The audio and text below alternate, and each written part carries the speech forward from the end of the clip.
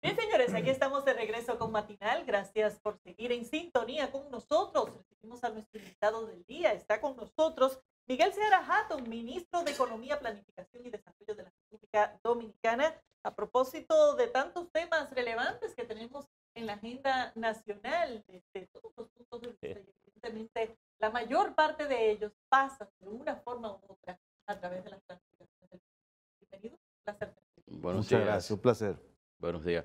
Eh, ministro, en, el, en la República Dominicana ha tenido, igual que muchos países, han tenido que acudir a los préstamos internacionales para hacer, eh, para enfrentar esta pandemia. Y, y creo que también este, este 2021, incluso el 2022, vamos a estar en eso. La- pero la, lo- la pregunta sería, ¿la República Dominicana está en capacidad de seguir buscando estos préstamos y cuánto se paga eh, de, de, rédito por, por este, estos préstamos? Mira, nadie quiere endeudarse. Eh, en más en estos, en estos niveles. Yo creo que sería un tanto ilógico pensar que esto es una situación deliberada y propositiva.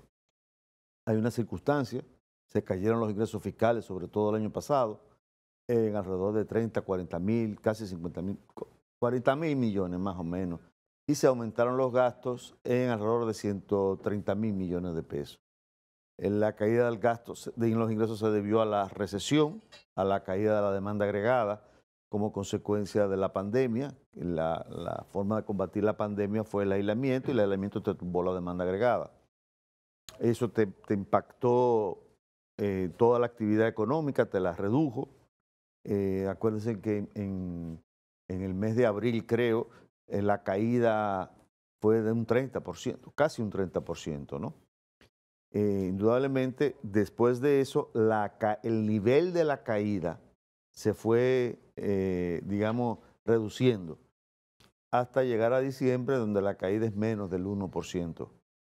¿no? Eh, en todo el año la caída fue de un 6%, más o menos.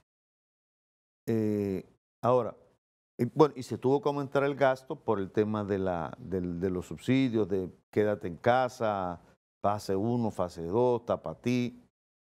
Eh, eso obligó necesariamente, y no, lo hizo solamente la República Dominicana, el mundo entero. Todos los países del mundo han hecho eso. Eso obligó a la deuda. Y la deuda mundial está creciendo significativamente.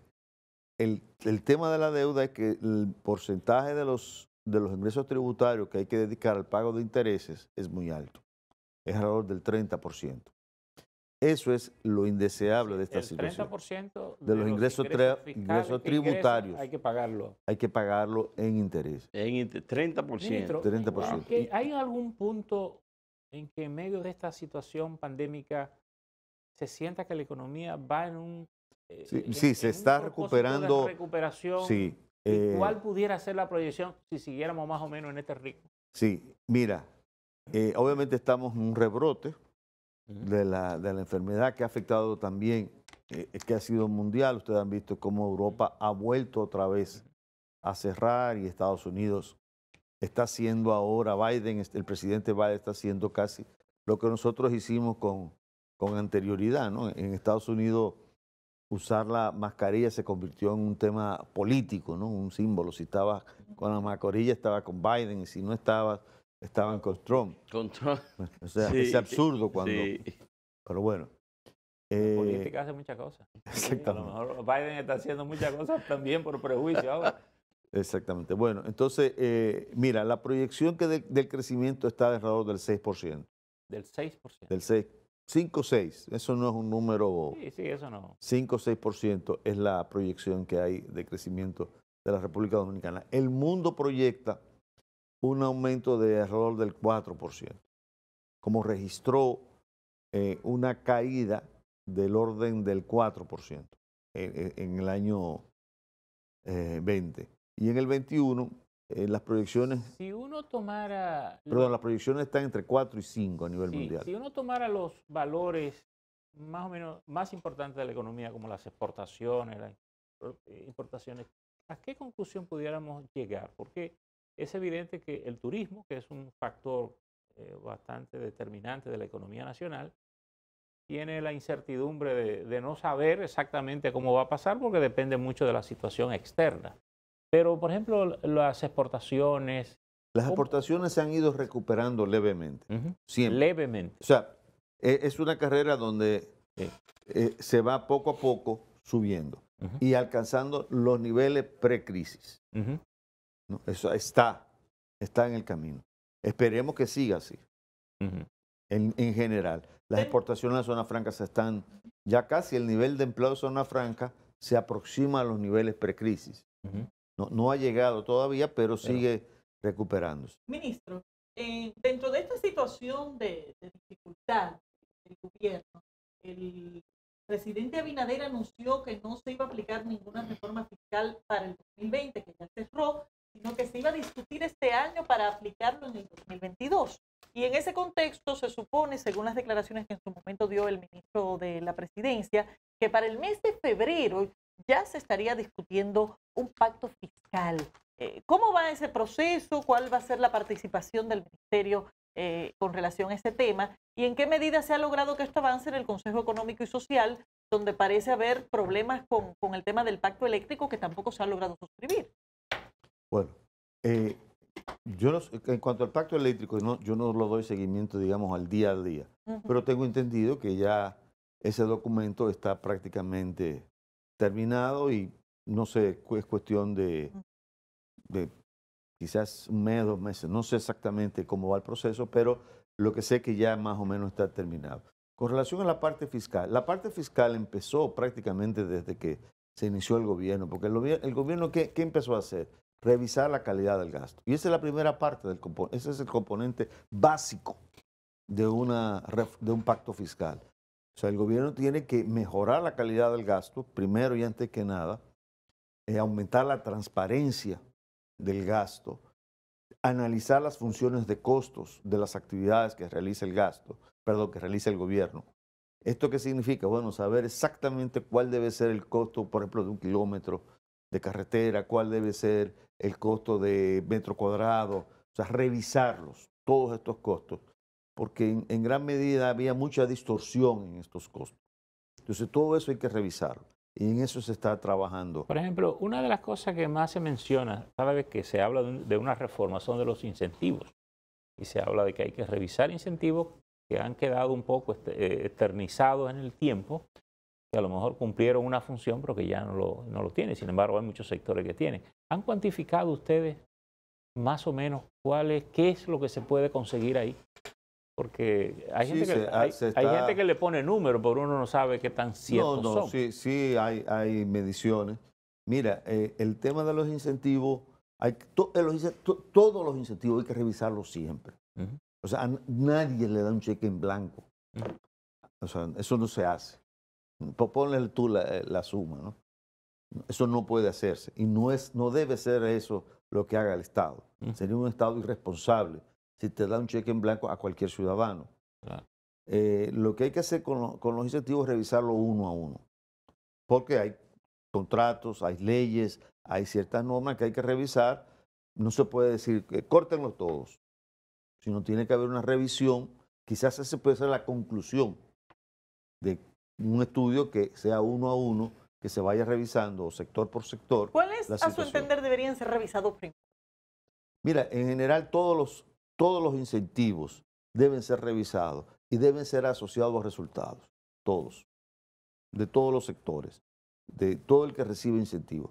Quizás el, de zona franca sea un sector que haya que mantener porque es un sector que compite internacionalmente, eh, pero en general todos los sectores deben ser revisados. En el caso de, de las empresas eh, que están o que estaban amparadas en lo que es la ley de beneficios o de protección y de las fronteras. 2801. Eh, esa es la 2801. La 2801 sí, no, es, que... esa, esa, es una ley que debe mantenerse, porque la misma constitución establece que hay que proteger a, a, la, a las... Usted entiende que deben mantenerse los mismos beneficios o sí, incrementarse. Sí, mire.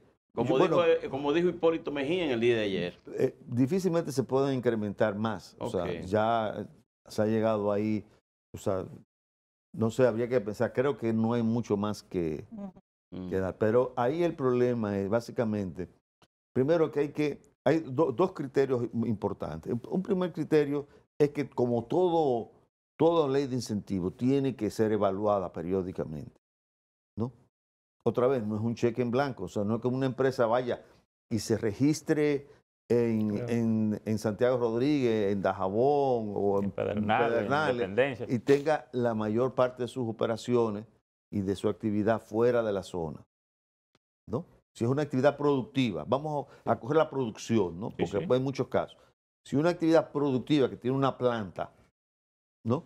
Que tenga un acti- el- el- el- una parte de su producción allá y otra afuera, ¿no? La- si es producción, debería estar, y voy a decir un, un ejemplo, vamos a suponer que la ley establezca que el 80% de las personas que trabajan en esa planta eh, sean residentes en la zona. ¿Me entiendes? Eso es fundamental. O sea, algún criterio en donde se pueda tener un control y una garantía de que el impacto le llega a la población allá. Pero Entonces eso hay que redactarlo. Ese es el, el gran problema de ahora fue el artículo cuarto. ¿Qué establece el El artículo? artículo cuarto no estuvo bien redactado en el sentido de que lo que pretende el artículo cuarto era esto que le estoy mencionando. El espíritu eh, en bajo el cual se elaboró ese artículo era precisamente crear los mecanismos que garantizaran que esa actividad tuviese residencia allá. ¿no? Sí, estoy hablando del caso productivo, porque hay más, más actividades económicas que son más sofisticadas. No de la producción, sino de, de- de la No, no. parte productiva. O sea, la producción, el- el- Sí. la industria. Vamos a suponer que le vamos a dar a un incentivo a una cementera. ¿no? Bueno, que la- el, el X por ciento de esa cementera, de lo que hace esa cementera, esté allá. ¿No es el caso en la actualidad? No necesariamente. Entonces, eh, no es, es muy difuso. Ahora, ¿por No hay qué- una Pero- cosa por qué- precisa. por qué Pero si sin usted- embargo, lo que se está discutiendo y lo que ha impulsado la Cámara de Diputados no es ajustar ese tipo de No, controles, eso es- no es el- la- sino, sino desmontar los incentivos propiamente dicho, bajando porcentajes y sujetándolos a que la parte del consumo de esos productos se genere en la No, frontera. eso es la confusión del artículo cuarto.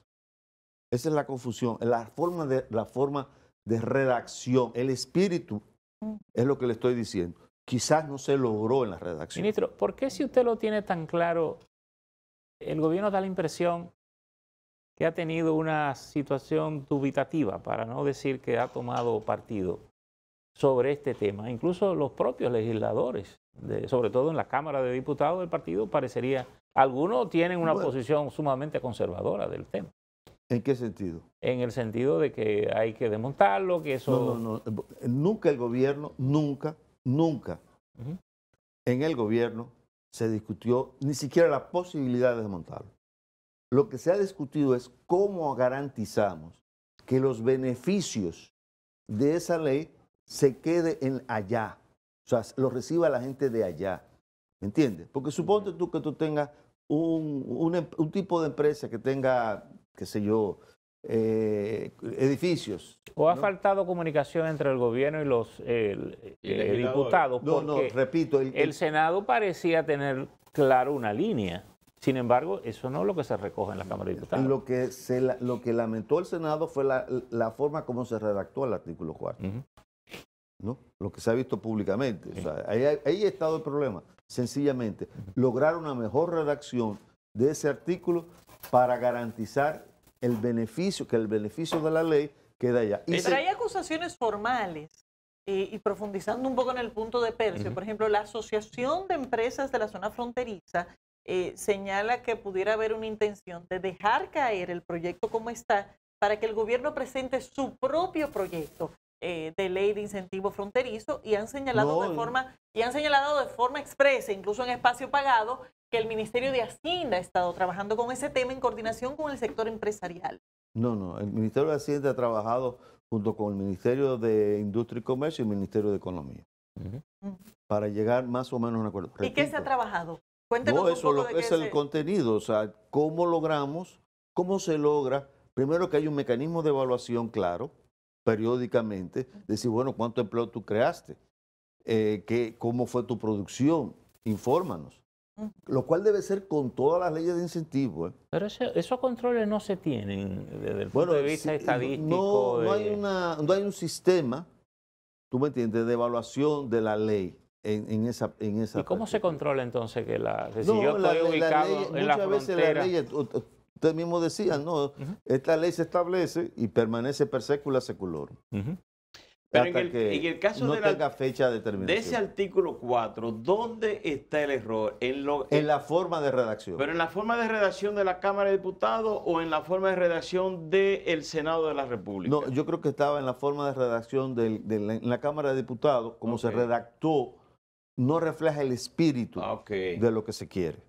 Quizás eso fue, pero eso se resuelve. O sea, eso no es un problema estructural. o sea, Parecería un problema gramatical. Parecería ser un problema muy sencillo, Sí. Muy ministro. sencillo. Sin Sí. embargo, se fue el plazo de vigencia de la ley, el Senado sigue bueno, hay, en hay conflicto grupos, con la hay, Cámara de hay Diputados. grupos como toda ley que dicen, bueno, que todo sigue igual. Antonio Marte, el ¿No? senador Santiago Rodríguez, la- lo que denuncia es otra cosa. Bueno, no sé qué de la- denunciará él, pero eh, el- hay- puede haber grupos que quieran que todo siga igual, que me extiendan tanto tiempo, pero no, está bien, yo, hay que extenderlo, Y hay, hay que darle seguridad, hay pero no hay que tener el control, control, hay que saber exactamente el impacto y decirle, ven acá, yo te estoy dando, el Estado se está desprendiendo de unos recursos para que tú beneficies a la región. Dime cómo tú lo has beneficiado. ¿Me entiendes? Ese, eh, hubo errores la vez, pre- eh, previamente, por ejemplo, tengo entendido que el Consejo que, que- que maneja la ley nunca se reunió por dos o tres años. No, no digo que no haya habido ese tipo de problemas, obviamente lo hubo. que Pero son eso, problemas de gestión. pero y eso, y eso fue antes de que nosotros llegamos. Nosotros desde que el primer día que llegamos dijimos, bueno, esta ley hay que protegerla, hay que aumentarle la efectividad, garantía de que realmente se mejore la zona, tiene que haber algunos mecanismos de evaluación, de análisis socioeconómico que te permitan medir, porque todo esto se mide además. ¿no? Y eso es muy fácil, decir, bueno, usted es una empresa. Percio Maldonado tiene una empresa ya, le dimos todos los incentivos y al cabo de 10 años Ministro, no ha pasado nada. a propósito de la frontera, Pero, pero perdón, Percio, antes de, de salir de ese tema, ¿eso significa que la intención del gobierno es que no se modifique el, el esquema básico del incentivo? Dígase, no se va a reducir el- la exención prevista desde el punto de vista del ITEVIS, desde el punto de No, vista no, de los no, no, aranceles nadie habló, y desde el punto de vista de impuestos sobre la no, renta. no, nadie habló nada de eso. La Cámara de Diputados sí, No, pero la Cámara de Diputados no lo eliminó. los varió. No, no, no. Sí, no. sí. sí, bueno, hizo, no, hizo una variación, que Hizo unas variaciones que el Senado no 50%, algo así. No, Sí. lo que, repito, lo que no aceptó el Senado es la, donde dice, donde queda confuso si la actividad, se, si, si se, si realiza si- una actividad ya allá o fuera de la zona. ¿Me entiende? Ese párrafo no quedó claro. Si es solamente ese artículo, ¿por qué todavía no se destraba el tema?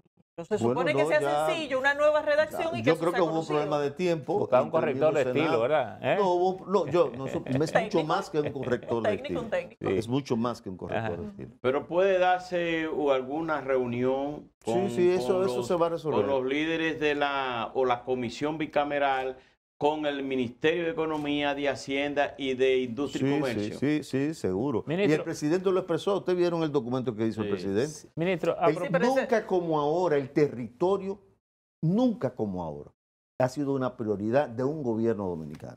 Nunca. a propósito de la Estamos frontera, haciendo, trabajando, interviniendo con una estrategia en todo el territorio a, nacional. a propósito de, esas, de ese sentido de prioridad que usted señala, el, el gobierno ciertamente ha identificado proyectos muy específicos, pedernales. El presidente habló de, de- de Manzanillo, e incluso en el caso de Manzanillo hizo una, hizo una revelación de que un grupo de naciones internacionales eh, extranjeras estarían creando un fondo para eh, venderle energía a Haití. ¿Qué tan avanzados van los proyectos de Pedernales, Bueno, ya eh, pe- Manzanillo? Bueno, se está trabajando básicamente con un esquema de APP, de alianza público-privada. O sea, aquellas actividades que el sector privado eh, le, le genera un aporte a lo que puede hacer el gobierno. Esa es un poco la base. Y que genera un flujo de ingresos que permite eh, cubrir las inversiones de, de, de tanto públicas como privadas. Pero, pero hay No, cosas, se está pero hay cosas específicas que, se, Sí, se que está puedan ya, bueno, por pensarse ejemplo, que van a comenzar. Sí, eh, está en el proceso, camino, terminando agua. todo el proceso de, de- de- de organizar la intervención, de la planificación, del, hay procesos de negociaciones, todo eso está avanzando eh, eh, con cierta velocidad ¿Mm?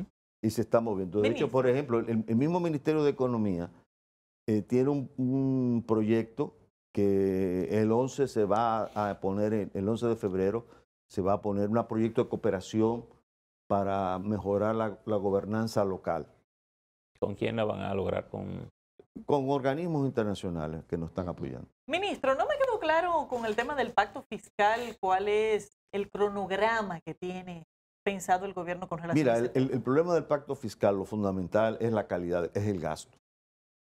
¿no? Entonces, lo que hay que aclarar y crear los mecanismos de transparencia para que la sociedad tenga acceso a la misma información que tiene el ministro de Economía o el ministro de Hacienda y pueda controlar el nivel de gasto. Pero que eso significa en términos de tiempo eh, No, eso, a la que puede el estar, gobierno. todo este proceso puede estar listo en, digamos, un documento básico en dos o tres meses. Porque Ok, o sea que febrero está descartado. Sí, sí, Que fue lo febrero. que bueno, en su no, momento- estamos, estamos teniendo etapas, cu- cubriendo etapas. Por ejemplo, funciones de costos. Esas funciones de costos es un ejercicio que te- tú tienes que saber cuánto te cuesta realmente un kilómetro, cómo, cuál debe ser un valor normativo, ¿me entiendes? Porque a veces un kilómetro te puede, te sale costando, no, digo un kilómetro, digo como ejemplo, ¿no? Y al, al final el tema de los nuevos tributos evidentemente siempre llaman la atención y la preocupación de la población. Y uno de los puntos Bueno, controvertidos... yo creo que si, si la- el, el- el tributo o los impuestos, eso es un tema que tiene que ser primero debatido después que se diga para qué va a ser el dinero. De- para, de- estableciendo para qué se va, cómo se va a utilizar ese dinero. Entonces, el gobierno va a discutir los principios de esa tributación. Primero vamos a discutir el gasto y después las nuevas Los propuestas. principios. ¿Qué ha pensado el ministerio con relación al tema de eh, imponer una carga fiscal a los servicios digitales, que fue lo que generó la controversia a final del año pasado, lo que tiene que ver con los servicios de plataformas OTT, pagos en el exterior por compra de bienes y servicios a través de tarjetas de crédito, etcétera? Eso es un tema que está en discusión. No hay ninguna, eh, todo hasta ahora está en discusión.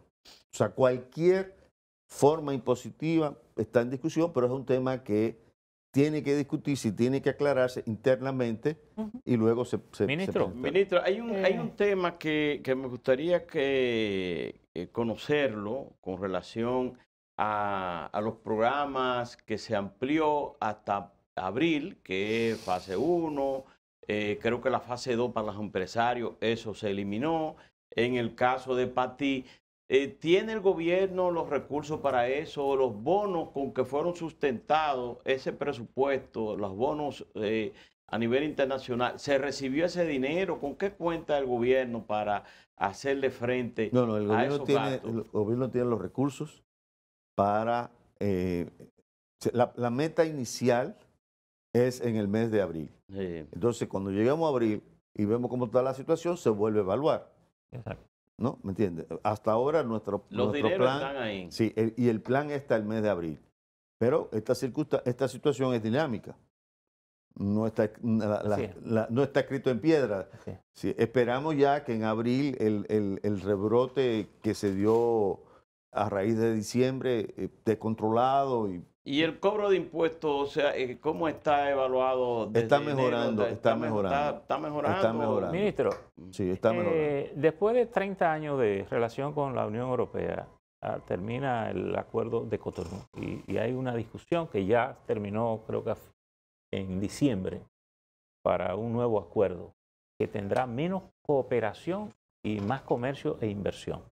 La, la primera pregunta es, ¿firmará el gobierno ese acuerdo en estos términos?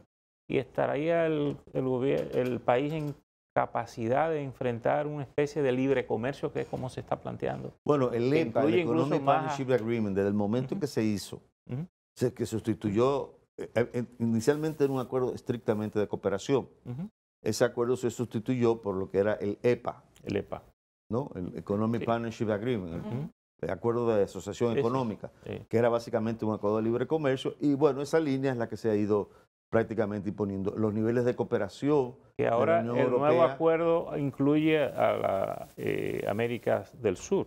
no sé, no dentro de, digamos, de este marco. Este marco es básicamente eh, Caribe, ¿no? Los, los ACP, los países de África. eh, El Cariforum, Pacífico, el llamado Cariforum. El Cariforum, que es Caribe. ¿no? Ese sería en ese marco. Bueno, muchísimas gracias, ministro Miguel Seara Hatton, por su presencia en el día de hoy.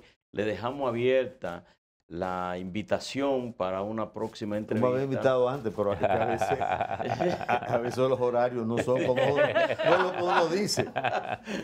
No, pero ojalá que cuando ya tengan avanzados los Gracias. trabajos que tienen que ver con, Sí. con la calidad del gasto, podamos tener una nueva sesión para que nos cuente sobre ello. Sí, ¿Cómo y, y algunas Gracias. planificaciones también sobre ¿Cómo la no? economía de gobierno. Bueno, muchísimas gracias a Miguel Seara Hatton, ustedes amigos televidentes. Muchísimas gracias también por su sintonía. Laura Castellanos, Percio Maldonado, Alberto, Alberto Caminero, un servidor, estuvieron con ustedes en esta jornada. Hasta mañana.